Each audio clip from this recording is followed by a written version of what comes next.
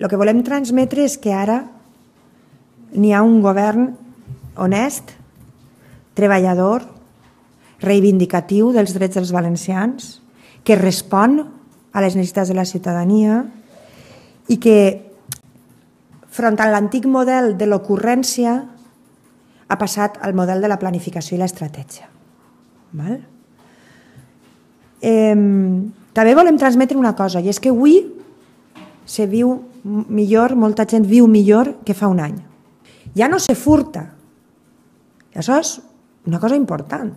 Eh? Entre altres coses perquè és un dels marges, a banda de l'eficiència i la bona gestió, un dels marges que té este govern, malgrat l'infrafinançament eh, del govern d'Espanya, és la part que no se furta, que ara se dedica a polítiques públiques. No?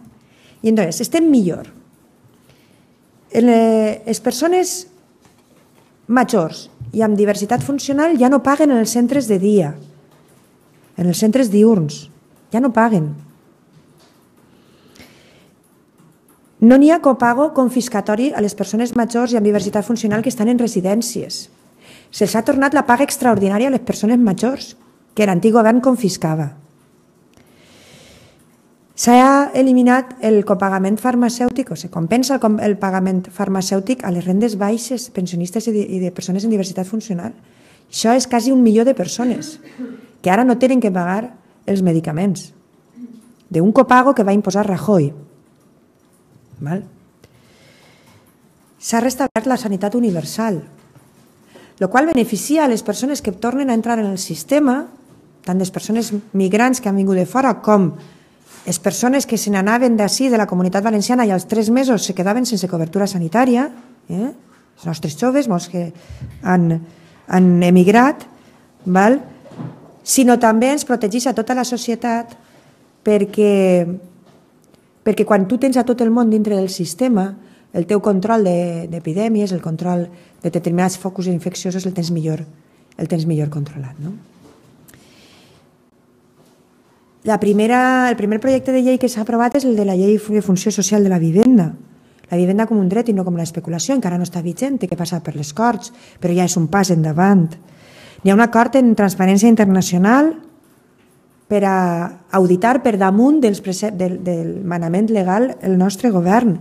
Tenim una web que ara sí s'entén, és transparent, la gent sap el que ens gastem, lo que, lo que, la nostra agenda, el que decidim. No? Hem millorat la imatge de la comunitat valenciana. De fet, estan tornant d'inversions estrangeres que se n'havien anat i tornen. Per què? Perquè n'hi ha més seguretat. Hi ha més seguretat jurídica, els empresaris ja no tenen que tindre um, por a que se'ls demanen mordides ni coses d'istes, que contava Benavent ahir, no? Aixina, sense frio ni calor, Benavent ho ha contat, com se demanaven les mordides a les empreses, tot això, això ja no passa. Això fa que altres empreses de l'estranger tornen, que venen de països on aquestes coses no passen i volen estar en països on aquestes coses no passen, no?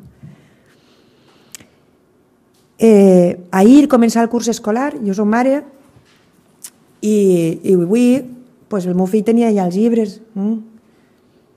I això està molt bé, perquè no veig és l'angoixa que te lleva estar pegant patades a principis de curs, però a més molta gent que no pot pagar els llibres, els seus fills tenen els llibres. Primer dia de classe, tots els llibres. Mm? N'hi ha xiquets de dos anys que ja tenen aules en les col·legis de primària, d'infantil i primària, i, i no tenen que pagar per anar a, a aquestes escoles, a aquest cicle, eh, el primer cicle d'infantil, no?